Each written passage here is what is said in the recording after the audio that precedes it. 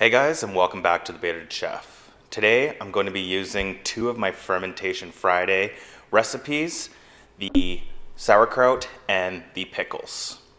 Uh, if you want to follow those, they're up here. If not, we can continue and get started on the classic Reuben sandwich. So follow me over to the cutting board and we can get started.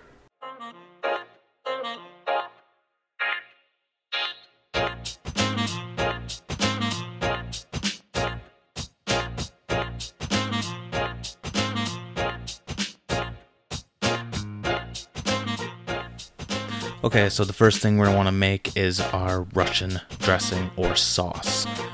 Half cup of mayo, two tablespoons of horseradish, followed by two teaspoons of Worcestershire sauce.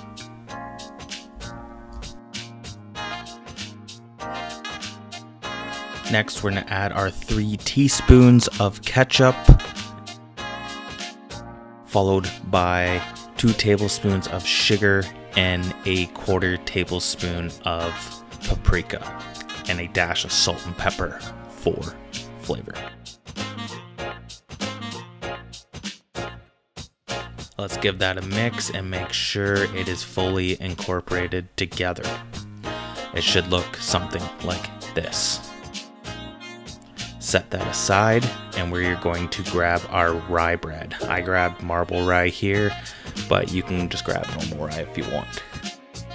We're going to butter one side, making sure to get all the pieces, and then we will bring these over to the stovetop. Let's get our pan on to medium to high heat.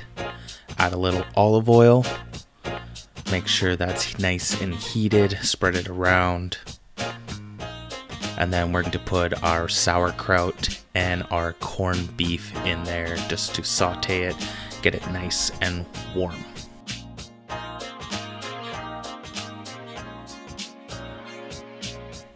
While that's going on, we're going to put on our pan, again, medium high heat, and put our buttered side down to give the outside of that bread a nice toast. Once this is all heated, place it onto one side add our Swiss cheese, followed by our Russian dressing.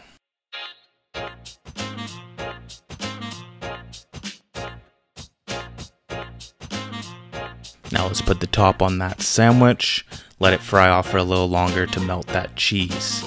Now that it's done, over to the cutting board, spike it if you want, and then cut that bad boy in half. And there, you got a Reuben. But that doesn't mean we can't get a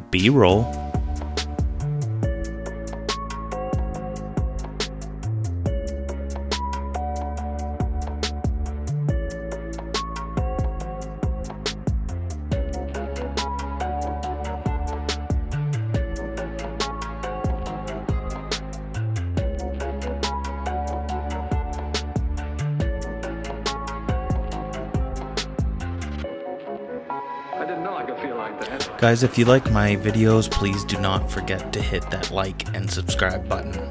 Bearded Chef.